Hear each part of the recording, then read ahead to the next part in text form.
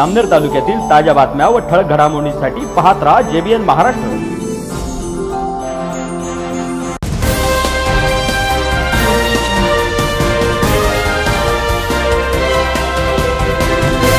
नमस्कार मी मिनल चौधरी. पाहूया काही ठळक वृत्त.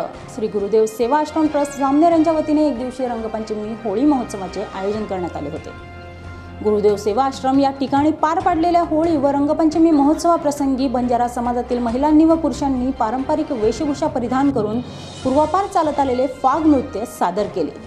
तर श्री श्याम चैतन्यजी महाराज आणि फैजपूर येथील सतपंत आश्रमचे आचार्य महामंडलेश्वर संतरत्न परमपूज्य स्वामी हरिजी महाराज यांच्या ओजस्वी सत्संग कार्यक्रमाने या होळी महोत्सवाला रंगत आली होती. या होळी महोत्सवाचा व सत्संग कार्यक्रमाचा आनंद बहुतांशी बंजारा समाज बंधू भगिनींनी तसेच इतरही समाज बांधवांनी घेतला.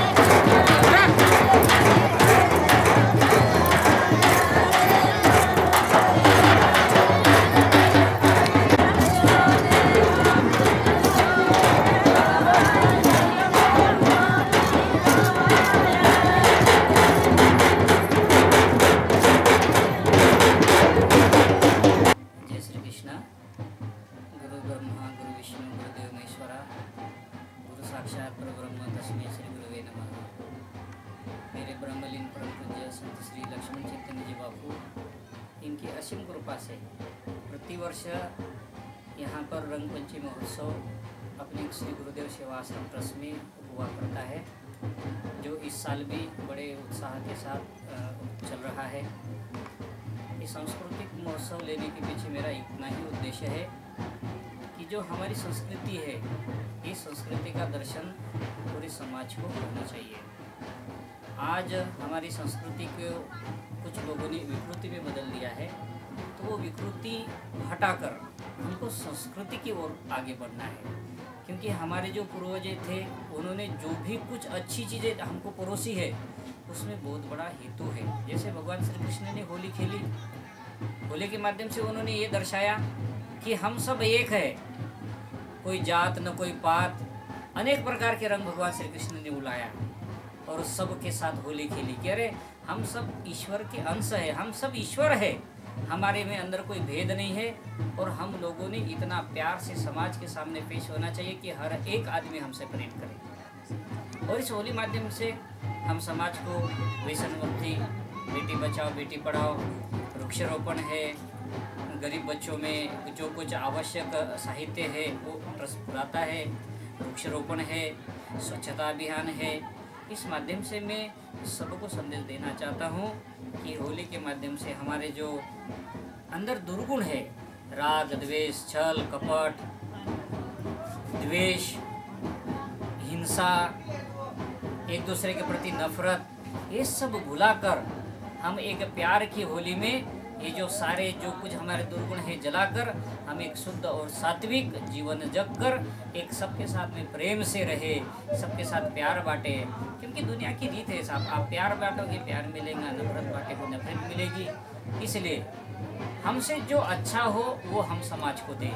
हमसे जो अच्छा न हो, हम शांत रहें देश के साथ सर्वे भवन्तु सुखिनः, सर्वे सन्तु निरामया, सर्वे भद्राणि पश्यन्तु, माँ कश्चित् दुर्भाग भवेत्। मैं आप सभी को होली की अनेक शुभकामनाएँ देते हुए परमात्मा से प्रार्थना करूँगा कि हम सबका जीवन शुद्ध, सात्विक और अंधश्रद्धा अंधश्रद्धा रहित, व्यसन मुक्ति रहित होकर हम एक अच्छे जीवन का शुरुआत करें। इन्हीं शुभकामनाओं के साथ जय श्री कृष्ण, जय श्री कृष्ण, जय श्री कृष्ण।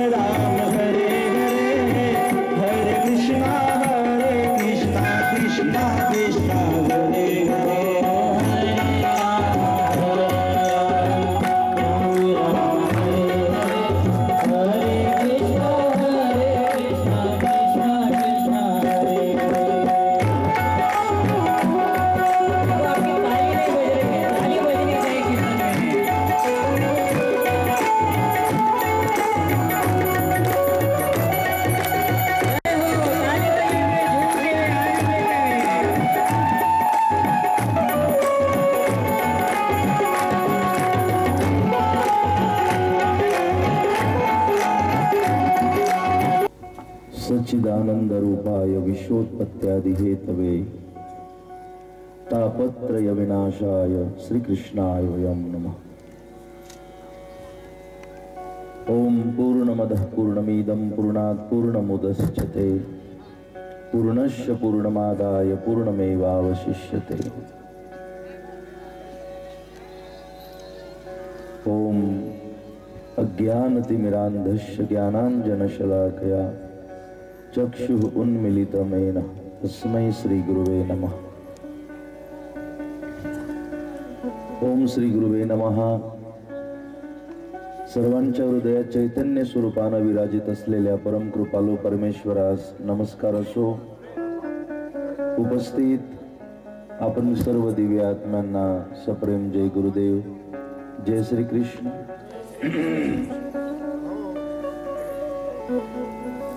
परम कृपालू परमेश्वराची कृपा संत महंतांचे आशीर्वाद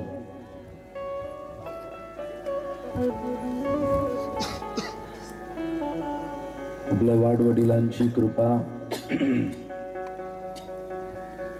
आपल्या सर्वांचं सद्भाग्य सत्कर्माची फलश्रुती. म्हणून या ठिकाणी एकत्रितपणे हरिनाम संकीर्तन आपण करतो आहोत. आजच्या रंगपंचमी महोत्सवाच्या प्रसंगी ज्यांच्या पावन सान्निध्यात मार्गदर्शनाखाली ज्यांच्या आशीर्वादाने प्रेरणेने किंवा ज्यांच्यामुळे आपल्या या परिसरात जे चैतन्य निर्माण झालं असे आमचे परमादरणीय परमस्नेही संत श्री श्याम चैतन्यजी महाराज यांना मी मनापासून अभिवादन करतो की ज्यांच्यामुळे या परिसरात सकारात्मक विचारांची पेरणी होते आहे ज्यांच्या माध्यमातून या परिसरातील सद्भक्त एकत्रितपणे सामूहिकपणे राष्ट्राला धर्माला समाजाला आणि परिसराला मजबूत करण्यासाठी प्रयत्न करीत आहेत. आणि याच काही गोष्टींच्यामुळे माझं ज्यांच्यावर खूप प्रेम आहे असे आमचे श्याम चैतन्यजी. तसं आज मी इथे येऊ शकेन. याआधी काही वेगळ्या अडचणींच्यामुळे आणि आज तब्येतीच्यामुळे मला शरीरातही चार पाच दिवसांपासून त्रास होता आणि आवाजात तुम्हाला जाणवतोच आहे. कदाचित फक्त आज इथे येऊन मी तुमच्याशी अर्धा पाऊन तास बोलावं अशी परमेश्वराची इच्छा असली पाहिजे म्हणून आज थोडासा आवाज त्याने मला दिलाय.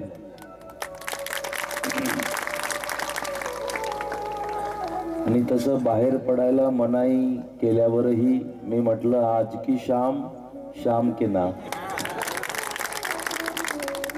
मी या पाच सहा दिवसामध्ये आजच पहिल्यांदा बाहेर पडलो मंदिराच्या. तत्पूर्वी आम्ही सोबतच होतो कन्नडला परत त्या आधी जळगाव. माझी उपस्थिती होती मथुरा. परंतु माझंही सारखं तसं आमची तब्येत काही पाणी बदलल्याने बिघडत नाही कारण आम्ही पाणी बदलू देत नाही. जरी भारतभर किंवा भारताच्या बाहेरही गेलं तर तिथलं पाणी लागू देत नाही. परंतु शरीर आहे आणि व्हायरल जे वातावरण आहे आणि मला तसं त्रास व्हायरल पण नाही आहे परंतु स्वरयंत्रावर सूज आहे. जी अति बोलण्याने येते.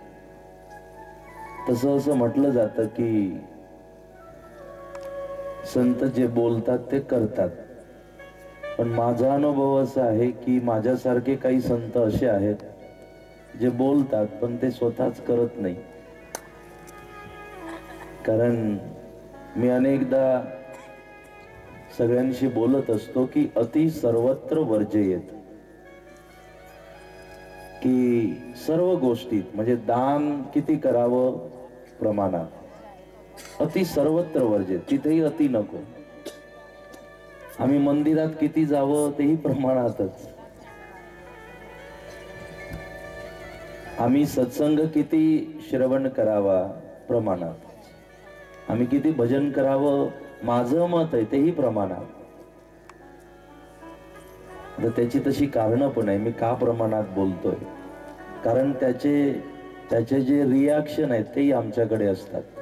अतिभजनाचे. आम्ही जेवण किती करावं प्रमाणात?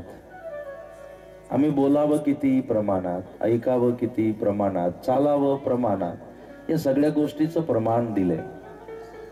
ज्या पद्धतीने आपण भाजी बनवत असतो ना भाजीत जी मिठाची भूमिका आहे किती मीठ घालत असतो आपण? प्रमाणात की चार लोकांची भाजी आहे तर मीठ तेवढं घालणार आपण. आणि ती भाजी आठ लोकांच्यासाठी करायची असेल तर मग प्रमाण थोडस वाटतं त्या प्रमाणात.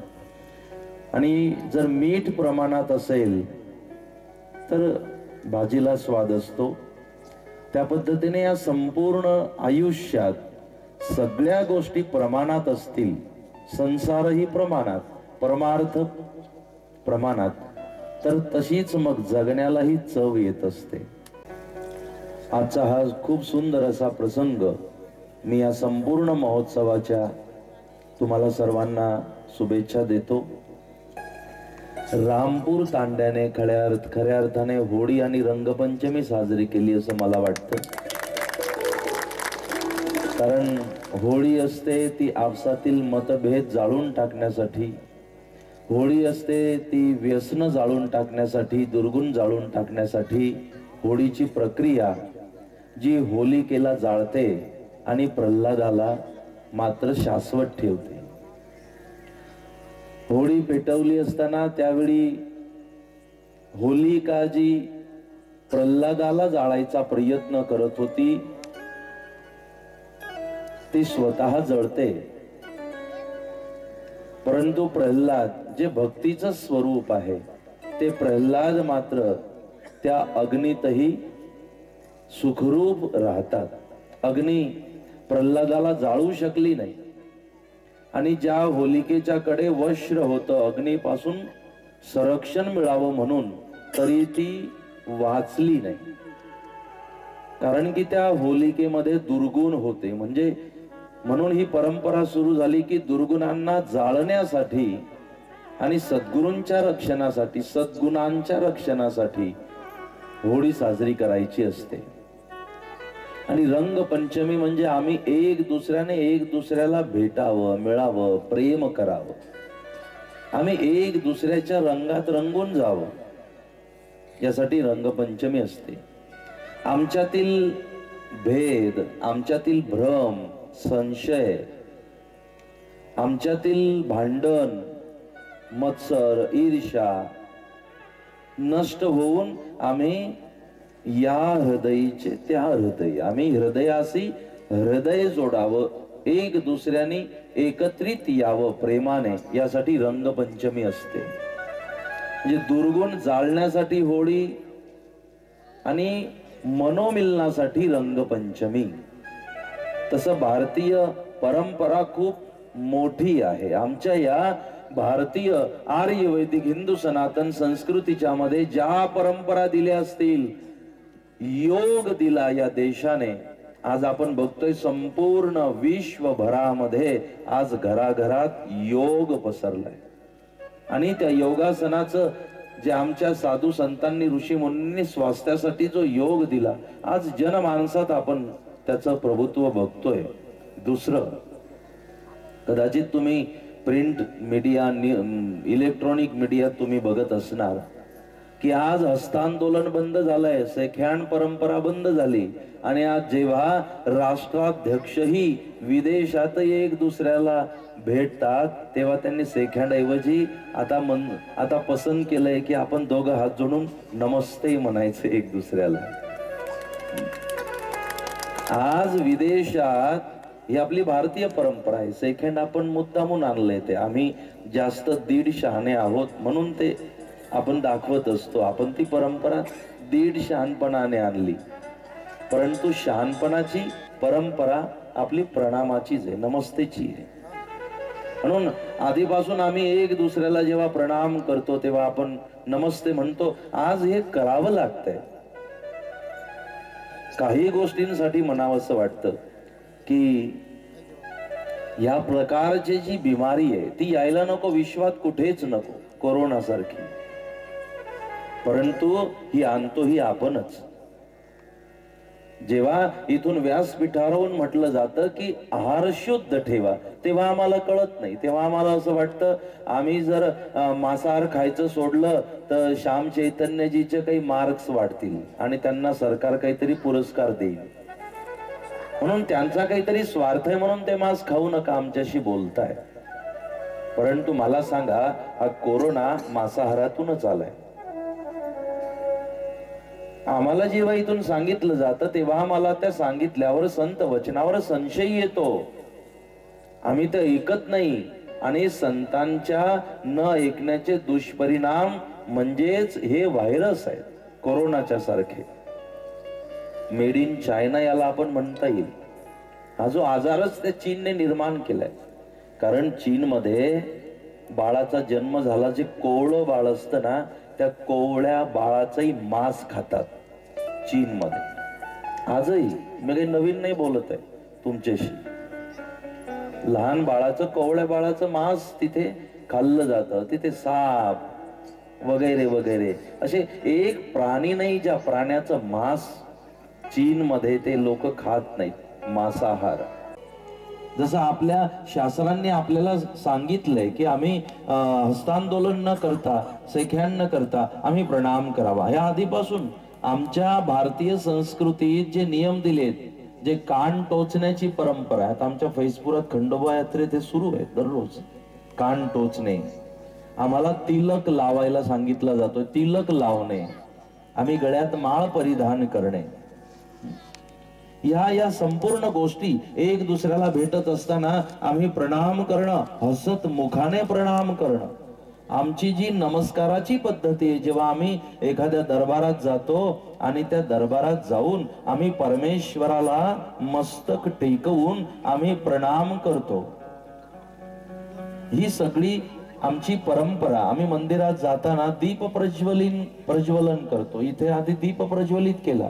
हे आता सुरुवात केली का आपण कोरोना आल्यावर? ही परंपरा पूर्वापार दीप प्रज्वलन करावं. सर्वांच्या घरात दीप प्रज्वलित व्हावा दीप प्रज्वलन करावं. प्रत्येकाने मंदिरात जावं टीका लावावा. आपली जी काही भारतीय परंपरा आहे नमस्कार करावा. आम्ही काय आहार घ्यावा कोणता घेऊ नये कसं जीवन जगावं आमची ही आम्ही जे सोळा संस्कार भारतीय परंपरेत सांगितले जर आम्ही त्यांचं अनुकरण केलं तर आम्हाला कोणत्याही अशा पद्धतीच्या आजाराला आम्ही बळी पडणार नाही. आणि आतापर्यंत भारतात हे व्हायरस आलेही असतील तर जास्त टिकले नाही तेवढा परिणाम भारतात झाला नाही. करू शकले नाही आजार. कोरोनाचाही विदेशात आपण बघतोय. त्या मानाने भारतात त्याचा परिणाम नाही आणि परमेश्वराला माझी प्रार्थना पण आहे मला विश्वास आहे भारतात हा जास्त पसरणार नाही. झालं. हे नाथ महाराज नको तुम्हाला त्रास. आणि शेवटी सगळ्यांना माहीत आहे चरित्र त्यांनी जलसमाधी घेतली. नाथ महाराजांनी. की नको माझा त्रास नको हे जीवन अपेक्षित आहे कृष्णाला हे अपेक्षित आहे. मला सांगा की मृत्यूच्या नंतरही नाथ महाराज इतरांच्या मनाची काळजी करतात. की माझं मरणही कोणाला त्रास देणार ठरू नये हे संत जीवन आहे. म्हणून चरण उनके पूजे जाते हैं जिनका आचरण श्रेष्ठ होता है। हे पूजनीय का म्हणून आहेत? यांचं आचरण यांच्यासाठी पूजनीय आहे. यांना पूजनीय बनवतं प्रातस्मरणीय बनवतं. म्हणून फक्त ज्ञान महत्वाचं नाही. गोपींनी तर हवाच काढली ना उद्धवाची. उद्धव ज्ञान चर्चा सुहाती नाही है. तू हे ज्ञान भ्रमरगीतातली सुंदर चर्चा आहे. रासपंचोध्यायातील भ्रमरगीत श्रीमद भागवत दशमस्कंद हृदय. भ्रमरगीतात गोपी म्हणतात याला भ्रमर म्हणतात उद्धवाला तू इथे येऊन भनभन करू नकोस. तुझी भनभन कोणी असं सारखं बोलत असले की आपण कंटाळा आला तू भनभन करू नको. तू जा फैजपूरला परत लवकर.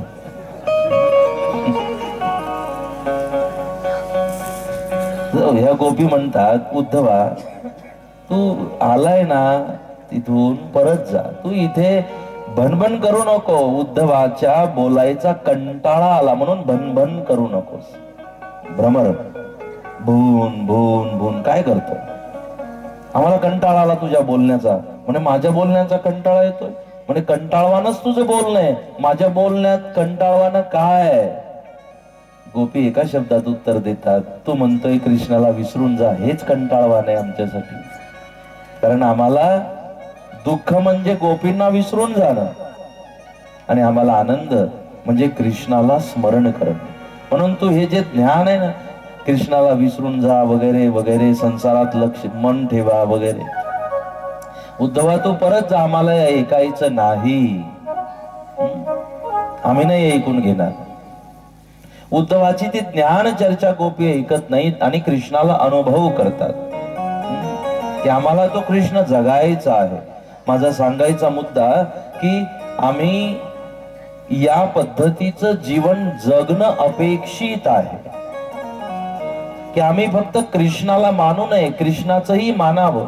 आम्ही संतांना मानू नये संतांचंही मानावं. कारण की आचरणातून परमार्थ आम्हाला सिद्ध करायची प्रयत्न केली पाहिजेत. आचरणातून. कारण फक्त मी माळा करत राहिलो मंदिरात जात राहिलो सत्संग श्रवण करत राहिलो आणि माझं आचरण जर शून्य आहे माझ्या आचरणात नाथ महाराजांचंच उदाहरण आहे. ती माऊली नातीला घेऊन येते ही गुळ खूप खाते. नाथ महाराज म्हणतात आठ दिवसांनी घेऊन ये. ती आजीबाई नातीला आठ दिवसांनी घेऊन येते.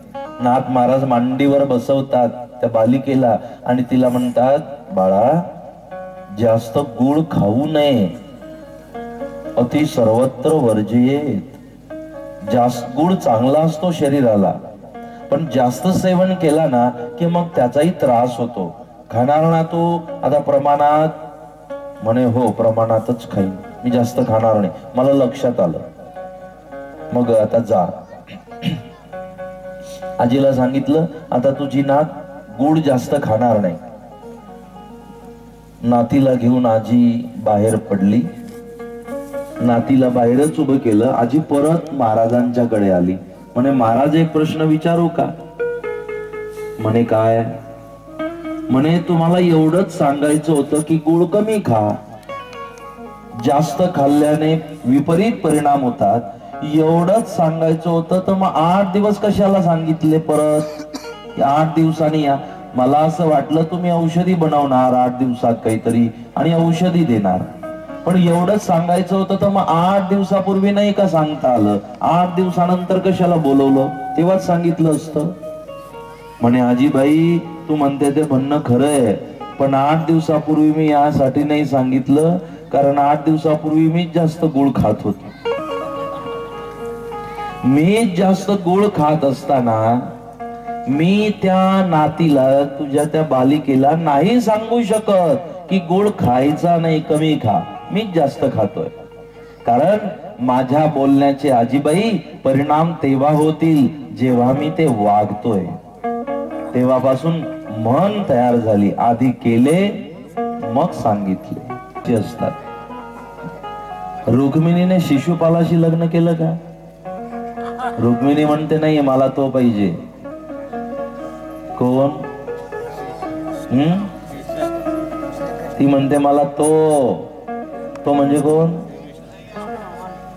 मला तो पाहिजे ज्याने गावावर आपदा आली ना एका करंगडीवरती पर्वत उचलून गावाचं रक्षण केलं मला तो पाहिजे. कारण तो गावाचं रक्षण करतो ना माझही माझंही करणार.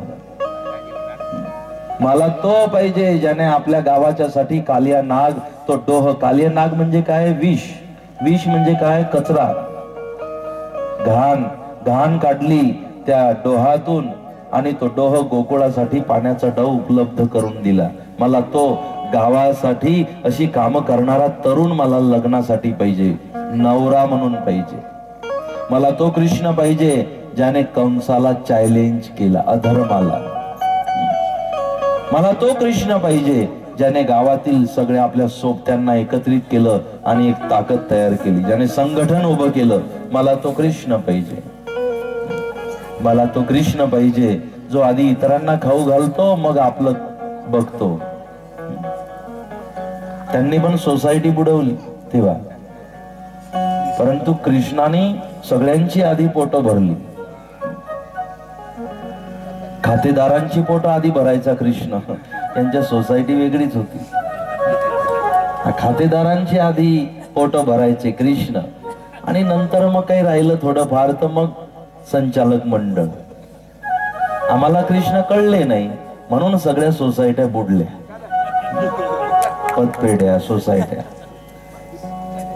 म्हणून मला त्या कृष्णाशी लग्न करायचंय. मला तो कृष्ण पाहिजे. शिशुपाल का नको? ती म्हणते ज्याला सी आणि सु कुठे करावं माहीत नाही तो शिशुपाल मला तो नको. मला सांगा या कृष्णाच्या या रामाच्या छत्रपती शिवाजी महाराज महाराणा प्रताप यांच्या देशात ही सांगायची वेळ आली पाहिजे का? आम्ही पेशाब कुठे करावी? आम्ही शौचाला कुठे जावं? हे सांगायची वेळ आली पाहिजे का? आमच्याकडे एवढेही नियम नसतील जे गाढवाच्या जीवनात आहेत. आम्हाला माणूस म्हणून घेताना काय आनंद येतो? काय अधिकार? आहे तुम्ही ही कुत्री बघा कुत्री. मी जेव्हा आपल्या हॉस्पिटलचे जे काम सुरू आहे वडोद्याला तिथे जातो ना तर आधी मी तिथे प्रवेश करता बरोबर आधी विचारतो या बंद केलेल्या कुत्र्यांना सोडलं की नाही? नाही. सकाळपासून म्हटलं सोडा पहिल्यांदा. ते सोडता बरोबर त्यांची जागा फिक्स आहे. तिथे जाऊन कार्यक्रम करतात. परंतु जिथे राहतात तिथे नाही. ठरलेल्या जागी त्यांना माहिती आहे. तीच कुत्री नाही. तुम्ही कुत्र्यांचं बघा ते त्यांची जागा ठरलेली असते. त्यांना कळतं. श्वानाला कळतं ते जिथे राहतात तिथे ते घाण करत नाही. गाढवाला नियम माहीत आहे. परंतु एवढंही आम्हाला जर कळत नसेल की आम्ही या पद्धतीने आम्ही शौचाला कुठे जावं तर मग उपयोग काय? सांगायचा मुद्दा की या सगळी व्यवस्था सरकारने दिली शौचालय दिलं त्याबद्दल सरकारला धन्यवाद दिले पाहिजे की या बाबतीतली चिंता पण सरकारने केली. परंतु आता आम्हाला पण तर काही गरज असते. सांगायचा मुद्दा या व्यक्तीने आधी विश्व सुधारायचा प्रयत्न केला. आता जग भारत सुधारायचा प्रयत्न केला पण भारतही सुधारू शकला नाही. हा म्हणतो जाऊ द्या आपण असं करू फक्त महाराष्ट्रच सुधरवू आपलं आपलं राज्य. एक वर्षभर संपूर्ण महाराष्ट्रात फिरला. प्रवचन प्रबोधन शौचालयासाठी वृक्षारोपणासाठी प्रेम भाव संप्रदाय या सगळ्या गोष्टींसाठी. एक वर्ष पूर्ण झालं बघितलं महाराष्ट्र काही सुधारला नाही. जैसे थे. जेव्हा मी बोलतो फक्त तेव्हाच लोक ऐकतात. प्रवचन संपलं रात्रीचा गोंधळ बराच होता. अशी गंमत. आपलं कसं असतं माहितीये का? असंही मी जे बोलतोय तुम्ही सगळं ऐकता असं काही नाही. मी बोलतो ते तुम्ही ऐकत नाही तुम्हाला जे ऐकायचं तेच तुम्ही ऐकत असता. आता इथे सासू सोना शेजारी बसलेले असताना मी जर म्हटलं की मग सासूची सेवा केली पाहिजे हे फक्त सासूच ऐकते. हे सुन नाही ऐकत. ते तिला ऐकायचं नाही. जेव्हा मी म्हणतो मग सुनेचंही ऐकून घेतलं पाहिजे. ते सासू ऐकत नाही. ते सुनेनेच ऐकायचं असतं. ते सुनच ऐकत असतं. मी आम्ही जे काही बोलतो ते सगळं तुम्ही ऐकता असं काही नाही. तुम्हाला जे ऐकायचं असतं तेवढंच तुम्ही ऐकता. आणि जे ऐकायचं तेच ऐकता. एरवी बोलत असताना माझा अनुभव आहे. सगळे श्रोते ना व्हॉलीबॉल खेळतात. आपलं फुटबॉल. फुटबॉल खेळ माहितीये तुम्हाला? फुटबॉलच खेळत असतात. म्हणजे इकडचा चे आपल्याकडचा चेंडू तिकडे. मग महाराजांनी म्हटलं की चांगलं वागलं पाहिजे. मी तर चांगलंच वागतो हा वाईट वागतो आम्ही तर फुटबॉल खेळत असतो. मी या पद्धतीने जे ऐकतो ते तात्पुरतं नाही तेवढ्या पुरत नाही. एकचदा प्रेत जळताना बघितलं सिद्धार्थने. आणि गौतम बुद्ध बनले. एकच फक्त त्या म्हाताऱ्या व्यक्तीला बघितलं डोळ्यातली घाण ते कुबड शरीर हातात काठी बघितली ते अं, शरीर ते त्रास बघितला त्या म्हातारपणाचा त्रास बघितला आणि हे म्हातारपण मला पण येणार. अरे हे म्हातारपण यायच्या आधी आणि शरीर असं जळण्याच्या आधी मला काहीतरी मिळवलं पाहिजे आणि ते गौतम बुद्ध बनतात. काहीतरी मिळवलं. आणि आम्ही मात्र हे सगळं बघत असताना आम्ही परत असं जगायला लागतो की मी मरणारच नाही. आम्ही जे ऐकतो जे बघतो थोडं जगायचा प्रयत्न केला पाहिजे. म्हणून याने विचार केला विश्व सुधारलं नाही भारत सुधारला नाही माझा महाराष्ट्रही सुधारला नाही. मी प्रयत्न करतो आता जळगाव जिल्हाच सुधारायचा प्रयत्न करूया. जळगाव जिल्हा सुधारायच्या प्रयत्नासाठी प्रयत्न केली आवाज खराब होईपर्यंत प्रवचन केली. जळगाव जिल्हा काही सुधारला नाही. एक वर्षात आत्मचिंतन केलं. जळगाव जिल्हाही सुधारला नाही. मग आता मी तालुका सुधारतो जामनेर तालुका. जामनेर तालुका सुधारण्यासाठी वर्षभर प्रयत्न केली. एक वर्षानंतर लक्षात आलं माझा तालुकाही सुधारला नाही. मग लक्षात आलं असं करतो. मी फक्त माझं गावच सुधारतो. माझं एकटं जामनेरच सुधारतो. एक वर्ष जामनेरातील प्रत्येक घर प्रत्येक गल्ली सगळ्यांना प्रवचन दिली प्रबोधन केलं. एक वर्ष प्रयत्नांती लक्षात आलं जामनेरमध्ये काही फरक नाही. काही उपयोग नाही. एवढी सगळी कामं करून सरकार गेली जामनेरला लक्षात आलं. म्हणजे त्याच्या लक्षात आलं काही उपयोग नाही झाला. मग ह्याने विचार केला विश्व सुधारलं नाही जग नाही राज्य नाही माझा जिल्हा नाही तालुका नाही गाव नाही सुधारू शकलं. माझी फक्त गली सुधारायचा मी प्रयत्न करतो. बस आपली आपली गली. त्याने वर्षभर आपला परिसर आपला तो एक वाडा सुधारायचा प्रयत्न केला तेही फेल. काही वाड्यातल्या लोकांनी पण ऐकलं नाही. उलट अनुभव आला हा येताना दिसला की वाड्यातली लोक रस्ता बदलायची. याला भेटलं म्हणजे हा रिकाम आणखी प्रवचन सुरू करणार याच. लोक रस्ताच बदला याच्या शेजारी कोणी बसायला तयार नाही याच्याशी बोलायला तयार नाही. मी माझं घरच सुधरवतो. स्वतःच घर सुधारण्यासाठी एक वर्ष प्रयत्न केले. पण एक वर्षानंतर लक्षात आलं बाई पण बोलत नाही माझी पत्नी माझ्याशी बोलत नाही. पोरं माझ्या शेजारी बसायला तयार नाही. उलट हे सुधारण्याऐवजी हे वेगळंच निर्माण झालं. हा म्हणतो आता असं करू मी मलाच सुधारतो. मग याने एक वर्ष तीनशे पासष्ट दिवस वेळ दिला फक्त स्वतः माझ्यात काय चुका आहेत मी त्या सुधारल्या पाहिजे. माझ्यात काय दुर्गुण आहेत काय व्यसन आहेत? मी ते बंद केली पाहिजेत. माझ्या वागण्यात काय चुकतंय की पोरं शेजारी बसत नाही? माझ्या वागण्यात काय चुकतंय? वाड्यातली लोक बोलत नाही. असं सगळं आत्मचिंतन केलं एक वर्ष स्वतःला सुधारण्यासाठी दिलं एक वर्ष स्वतःसाठी दिलं. इतरांच्या मधील दोष न बघता एक वर्ष स्वतःतील दोष बघितले एक वर्ष वेळ दिला स्वतःसाठी एक वर्षानंतर बघितलं की मी आता बघतो मी स्वतः सुधरलो का? आत्मचिंतन केलं. लक्षात आलं सगळं जग सुधरलंय. एक वर्षानंतर. आता याच्या लक्षात आलं की हे जग तेव्हा सुधरू शकतं ज्याची त्याची सुरुवात मला माझ्यापासून केली पाहिजे. मी सुधारलो पाहिजे. म्हणून मला जग सुधारण्याच्या प्रयत्नापेक्षा मला सुधारण्यासाठी मला प्रयत्न केले पाहिजे. एके दिवशी जग सुधरेल. प्रयत्न मी माझ्यापासून केले आधी केले मग सांगितले. ही गरज तर सध्या तुला जास्त आहे. काही पिलेली लोक आमच्या शेजारी आले की काही लोक म्हणतात हे दूर हो तू पिलाय.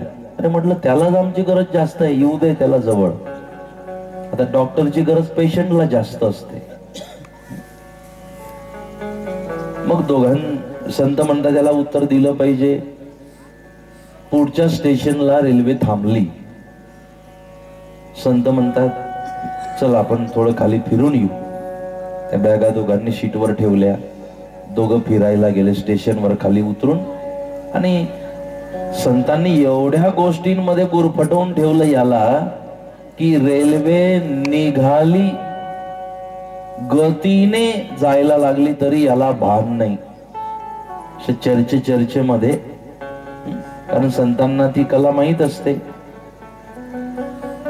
याला लक्षातच आलं नाही. साडे दहा पण वाजून गेले तरी प्रवचन सुरू आहे. तुमच्याही लक्षात मी बोललो म्हणून लक्षात आलं की साडे दहा वाजले. आणि संतांना हे माहीत असत. याच्या लक्षातच आलं नाही की ट्रेन निघून गेली म्हणून. हा धावत पळत धावत पळत ट्रेन पकडायचा प्रयत्न करतो रेल्वे पकडायचा प्रयत्न करतो पण ती रेल्वे काही थांबली नाही याला चढता आलं नाही. परत हा बाबाजींकडे आला संतांकडे आला. म्हणे तुम्ही चर्चेत एवढं मला मग्न करून दिलं तुमच्या गप्पा गप्पा गप्पा संपतच नाही म्हणे साडे दहा झाले तरी. एवढ्या तुमच्या गप्पा गप्पा चर्चा चर्चा.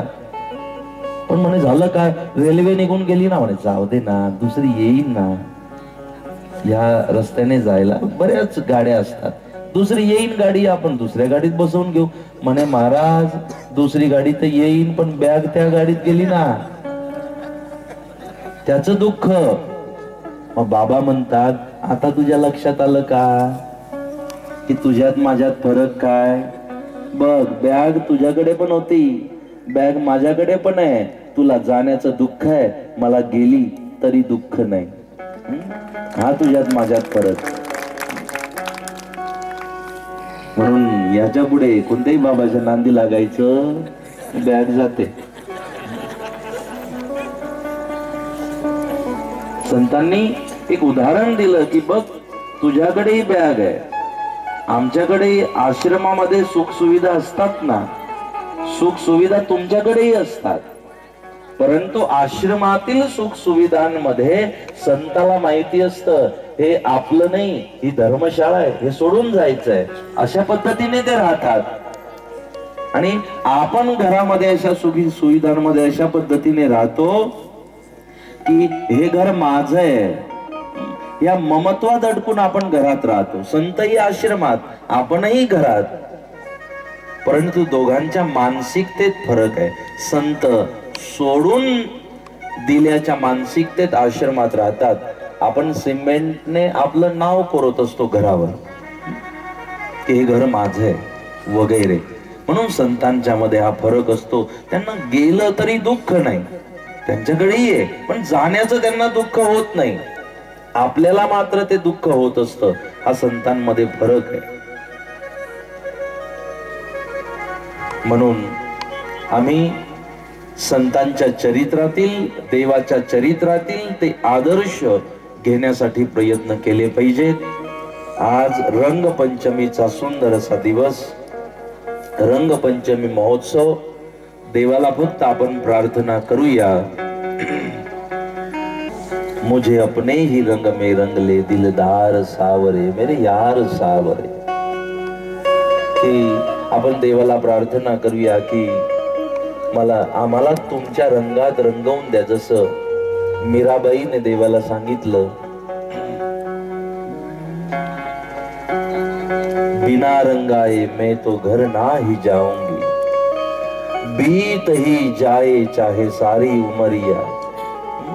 ऐसा रंग दे कि रंग ना ही छूटे धोबिया धोए चाहे सारी उमरिया. लाल ना रंगाऊ मैं तो हरी ना रंगाऊ, अपने ही रंग में रंग दे चुनरिया, ही चुनरिया। पुनः भेटू पाहत रहा जेबीएन महाराष्ट्र न्यूज़, नमस्कार.